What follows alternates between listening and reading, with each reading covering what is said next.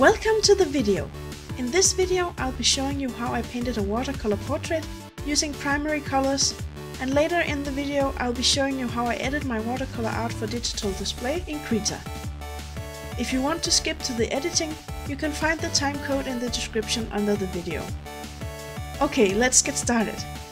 First, I started with a sketch, which you saw in the beginning.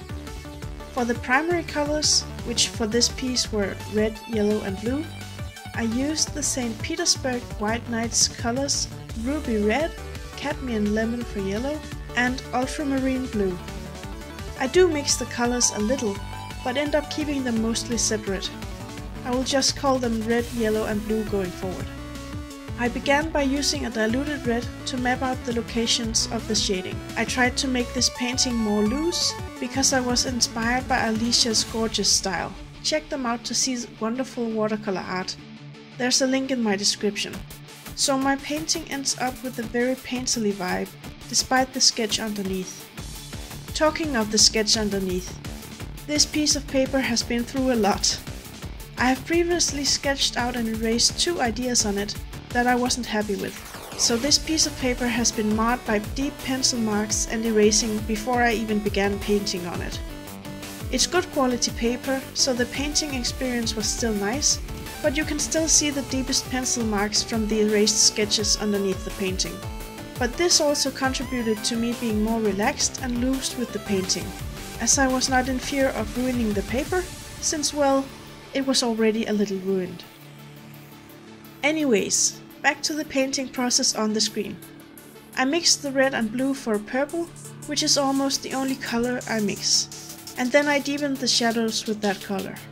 Then I came in with the yellow in a quite diluted state to show where the light hit on the right side of the composition.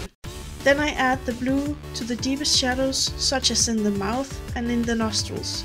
And then I dilute the blue to help deepen some shading that needed to be darker, but not as harsh as the fully loaded blue would make it. After painting in the pupils with the blue, I just go around the painting, deepening the colors here and there, adding more saturation as I go.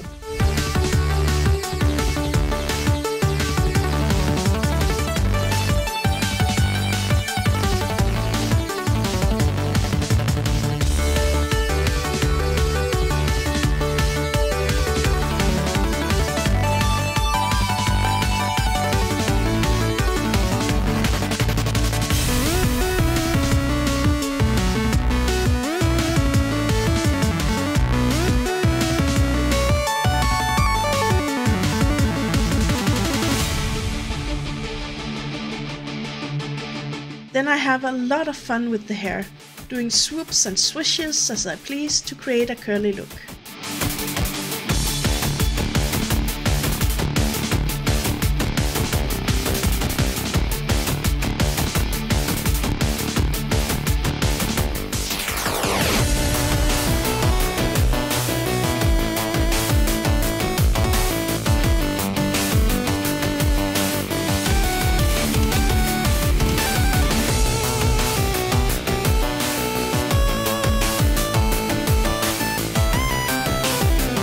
After that, I go in with my tiny detail brush and do the darkest shadows with the blue, and I also add a very thin outline where I feel the piece needs it.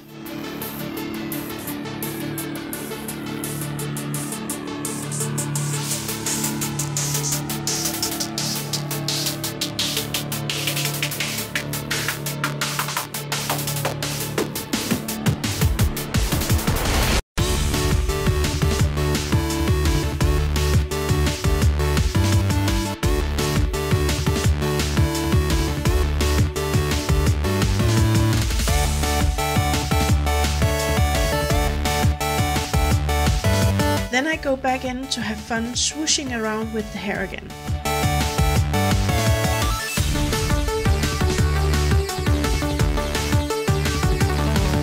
Then I add some final saturated parts with the red and yellow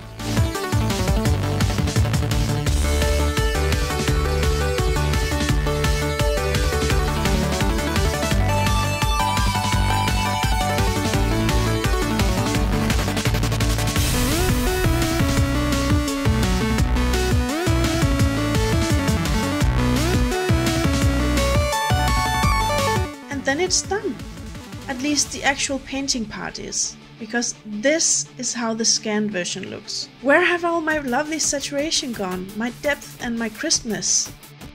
The scanner ate it, I guess. But there are ways to fix this, and I'm going to show you how I do it with the free digital painting software called Krita. So hang tight. I have the scanned file open in Krita and the first thing I do is to remove the paper border.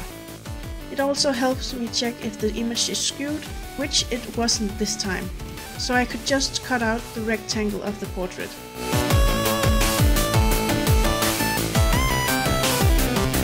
Then I flip the image just to see if it's leaning too badly. In this case, I deemed it as being okay. If you are curious on how to unlean a leaning painting with Krita, check out my video on fixing my flawed watercolor painting. Link is in the description. Then the magic starts happening. I add a filter layer. I start with a color adjustment layer and play around with the curve by dragging on it until I'm happy with the result. I use it to bump up the saturation while adding depth to the darker colors and give the lighter colors a small bump up in brightness too, so as to create more contrast. See the difference? It's amazing! Then I add a filter layer with levels. This allows me to up the contrast even more and make the whites of the painting more white.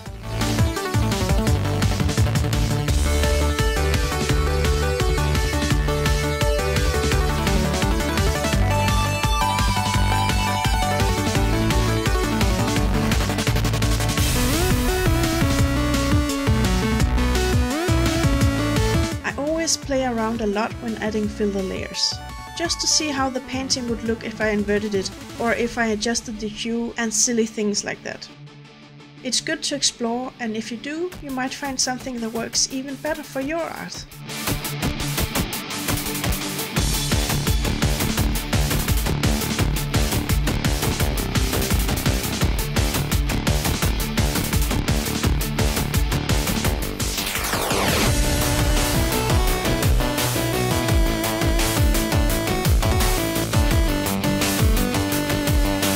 Then I add a filter layer to dodge the highlights, you know, to make them brighter.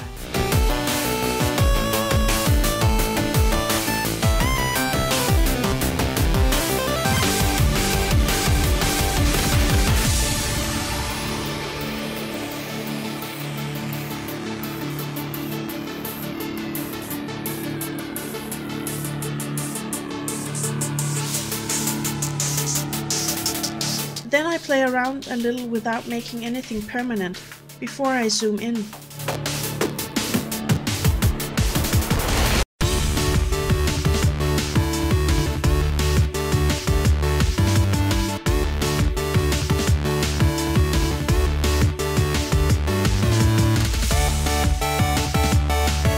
And now you can really see the marks from the previous sketches I talked about.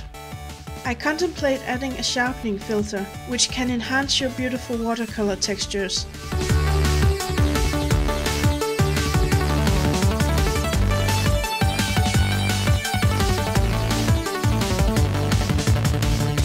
But I decide against it.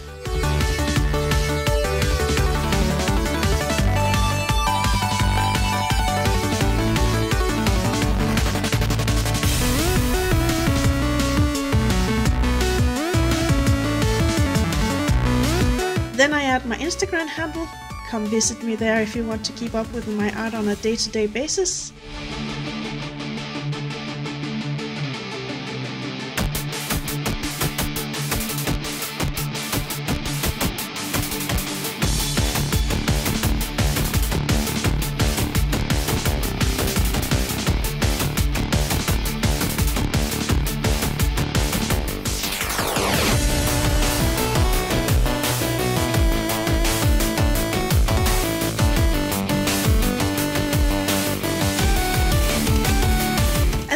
Is the finished product.